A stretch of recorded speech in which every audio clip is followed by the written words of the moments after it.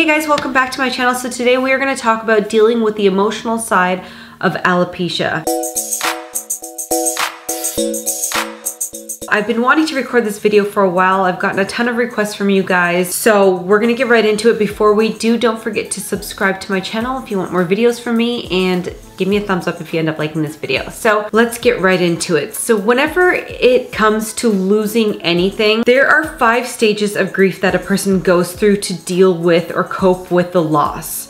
And it's no different when it comes to alopecia because you are losing, well, your hair, which is a really big part of who you are as a person. I know that when I first started going through it, I, I kind of had difficulty with allowing myself to feel all the emotions and feel the sadness over losing my hair because I I kind of felt inside like it was coming from a place of vanity. And I talked to my best friend. I didn't tell her early on about the alopecia because she has a daughter who has cystic fibrosis and cystic fibrosis, it's a very, very serious disease. So I didn't want to talk to her about it because I didn't want to burden her with my problems and the fact that I was losing my hair, which didn't seem like as nearly as big of a deal of what she was already going through. But when I did end up telling her about it, she was mad at me that I didn't tell her earlier because what she said to me, and this is what really hit home, was that there is something going on with you, something going on inside your body that is causing your hair to fall out. That's a very serious thing.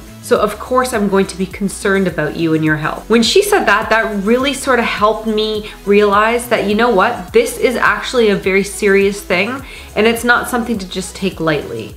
So when it comes to the five stages of grief, the first few ones are anger and denial and and obviously you're gonna feel these things. You're gonna be upset about the fact that it's happening to you. It's gonna be really scary in the beginning, but the more research you do, the more you'll better understand why this started in the first place. Um, and I truly honestly believe that things happen in your life the way that they're supposed to happen. There's a reason you're going through the things that you're going through. If you're going through alopecia right now, it's a signal that something's not right either in your body, in your stress levels, something is not right in your life and you need to pay closer to attention to it. That's the angle that I kind of took when um, I was going through it. It was kind of like alarm bells going off in my head that, you know, there's something seriously wrong here and we need to get to the bottom of it. And I know it's so easy to get caught up in that whole feeling of like, why did it happen to me? But you know what? That's not actually gonna solve any problems. It's so much more empowering to take a look at it uh, from a non-victim perspective. As much as you really want to just sort of wallow in that sort of pain, try not to spend too much time there. I mean, I'm not trying to tell you that it's wrong to be upset, Trust me, I was very upset. I definitely shed a lot of tears over what was going on with me, but it's not productive to sit in that space. So instead of getting stuck in that place, what I would suggest you do is to do as much research as you possibly can. I was on the internet looking at every single website that I could possibly read on alopecia. I watched every single YouTube video that I could watch on the subject. I started finding out more things about alopecia, but that stress could be a cause of alopecia. So I started investigating, well, how do you minimize your stress? How do you deal with stress?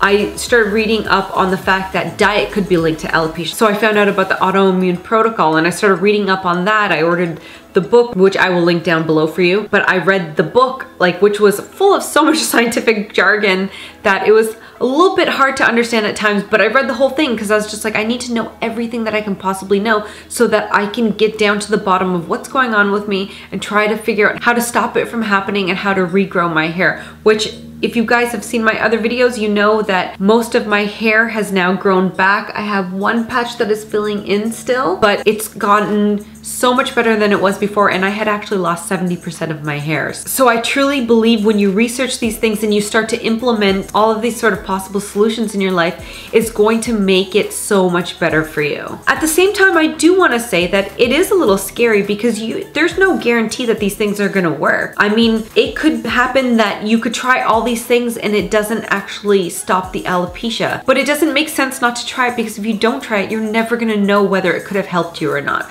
So try try to put all of your energy into trying to solve the root of the problem, what's going on inside of your body, inside of your mind, and inside of your life that has caused the alopecia to happen in the first place. And then another thing that you can do that will help you is to look at the worst case scenario. Now, if the worst case scenario is that you completely lose your hair, what are things that you could possibly do if that ended up being the case? So I started to think about different things that could possibly happen. If my eyebrows were to fall out, well, I could always do microblading and I would have artificial brows. If my eyelashes fell out, well, I could use false lashes. Um, if like, you know, I have no hair on my head. The technology when it comes to wigs these days has completely improved over the years and there are some pretty nice looking wigs out there. So I went to a store and I tried on some of their wigs just to see what it would look like and how it would feel. And yeah, I'm not gonna lie, it was a little traumatizing to put that wig on and to think that this could possibly be my life. But I'd rather look at it from that perspective and kind of prepare myself mentally rather than to just sort of sit in the pain and the misery. So just look at the worst case scenario and try to see the most positive things that you could possibly do to make yourself feel better if that were the case. So you want to prepare yourself mentally for the worst case scenario, but you want to hope for the best and do all the research and be equipped and try everything that you can possibly try and put all of your focus and your energy into that rather than sitting in the pain. I think that is so much more productive and that's going to make your emotions and your ability to deal with what's going on with you a lot easier on you. It's also really important to talk about it. Now this was the thing that really, really helped me. As you guys know, I've been doing these videos for about five years now. I've been on social media forever. I have my blog and I put myself out there so you guys see me and you see what I look like. Now for me, it wasn't really something that I could hide from you. But going back to the whole thing of things happen in your life the way that they're supposed to, well, thinking about the fact that it's happened to me and the fact that I have this platform, well, it kind of was a no-brainer that I should try to help as many people as I can